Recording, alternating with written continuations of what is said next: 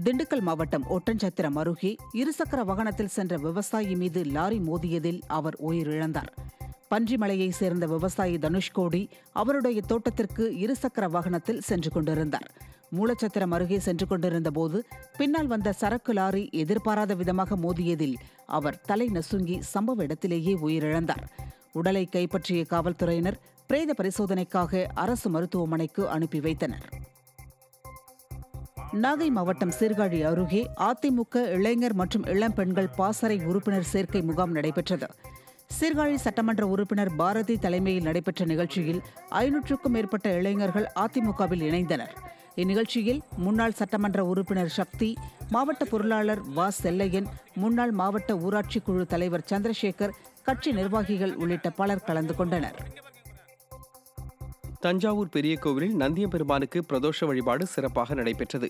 புரட்டாசி கடைசி பிரதோஷத்தை முன்னிட்டு பதிமூன்று அடி நந்தியம்பெருமானுக்கு மஞ்சள் சந்தனம் தயிர் பால் உள்ளிட்ட ஒன்பது வகையான திரவியங்களால் அபிஷேகம் செய்யப்பட்டது. பின்னர் வண்ண மலர்களால் அலங்கரிக்கப்பட்ட நந்தியம்பெருமானுக்கு மகா தீபாரதனை காட்டப்பட்டது. இதில் ஏராளமான பக்தர்கள் பாதுகாப்பு இடைவெளியுடன் கலந்து கொண்டு தரிசனம் செய்தனர். திருப்பூர் மாவட்டத்தில் ஆறு மாதத்திற்கு பின்னர் வாரச்சந்தைகள் வழக்கம் போல செயல்பட தொடங்கியுள்ளன. கைகாட்டி புதூர் பகுதியில் செயல்பட்டு வந்த வாரச்சந்தை கொரோனா ஊரடங்கு காரணமாக மூடப்பட்டது. இதனையடுத்து ஊரடங்கில் தளர்வுகள் அளிக்கப்பட்டு சில கட்டுப்பாடுகளுடன் வாரச்சந்தையில் கடைகள் அமைக்க பேரூராட்சி நிர்வாகம் வியாபாரிகளுக்கு அனுமதி அளித்தது. இதனையடுத்து பாதுகாப்பு நடவடிக்கைகளுடன் பொதுமக்கள் அனுமதிக்கப்பட்டதைத் தொடர்ந்து வாரச்சந்தை வழக்கம் போல் செயல்பட்டது. தேனி மாவட்டம் பெரியகுளம் அருகே நண்பரை கத்தியால் குத்தி படுகொலை செய்த இளைஞரை காவல்துறையினர் கைது செய்தனர். கருத்துப்பட்டியைச் சேர்ந்த விசாகன் மற்றும் சரவணன் ஆகியோர் நண்பர்களாக பழகி வந்த நிலையில் திடீரென அவர்களுக்குள் வாக்குவாதம் ஏற்பட்டது. இதில் ஆத்திரமடைந்த சரவணன் விசாகனை கத்தியால் குத்தினார். படுகாயமடைந்த விசாகன் மருத்துவமனைக்கு கொண்டு செல்லும் வழியில் உயிரிழந்தார். இதனையடுத்து சரவணனை காவல்துறையினர் கைது செய்து விசாரணை நடத்தி வருகின்றனர்.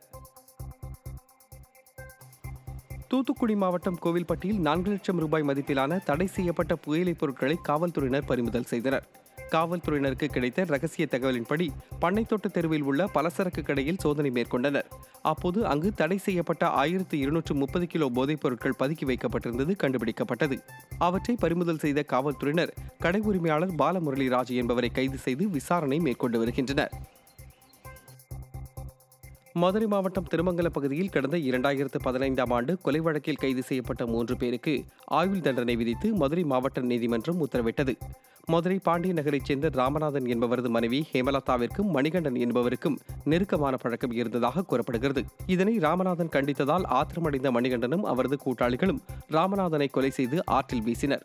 இந்த வழக்கு மதுரை மாவட்ட நான்காவது கூடுதல் குற்றவியல் நீதிமன்றத்தில் விசாரிக்கப்பட்ட நிலையில் மணிகண்டன் அமேஜான் வெங்கடேஷ் ஆகிய மூவருக்கும் ஆயுள் தண்டனை விதித்து உத்தரவிடப்பட்டுள்ளது.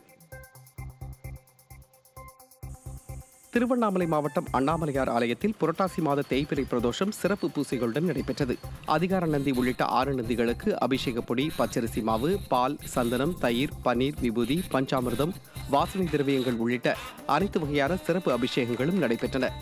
அதனைத் தொடர்ந்து பெரிய நந்திக்கு சிறப்பு அலங்காரங்கள் செய்யப்பட்டு சிவாச்சாரியார்கள் வேத மந்திரங்கள் முழங்க பிரதோஷ காலத்தில் மகா தீபாராதனையும் நடைபெற்றது. சென்னை கிழக்கு கடற்கரை சாலையில் இருசக்கர வாகனங்கள் மற்றும் நகைப்பறிப்பில் ஈடுபட்டு வந்த மூன்று பேரை காவல்துறையினர் கைது செய்தனர். காவல்துறையினர் வாகன சோதனையில் ஈடுபட்டுக் கொண்டிருந்த போது அவ்வழியே வந்த மணிகண்டன் என்பவரிடம் விசாரணை மேற்கொண்டனர். அப்போது அவர் வழிப்பறியில் ஈடுபட்டது தெரியவந்தது. மணிகண்டனை கைது செய்த காவல்துறையினர் அவரது கூட்டாளிகளான சூர்யா மற்றும் விக்கி ஆகியோரையும் கைது செய்தனர். மூவரும் நீதிமன்றத்தில் ஆஜர்படுத்தப்பட்டு சிறையில் அடைக்கப்பட்டனர். மேலும் ஐம்பத்தி இரண்டு சவரன் தங்க நகை ஒரு கார் இரண்டு இருசக்கர வாகனங்கள் ஒரு எல்இடி டிவி செல்போன் உள்ளிட்டவைகளையும் பறிமுதல் செய்யப்பட்டன.